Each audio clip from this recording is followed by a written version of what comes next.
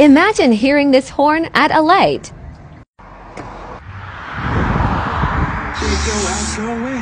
Hey, we got K rounds. Blocks with 30.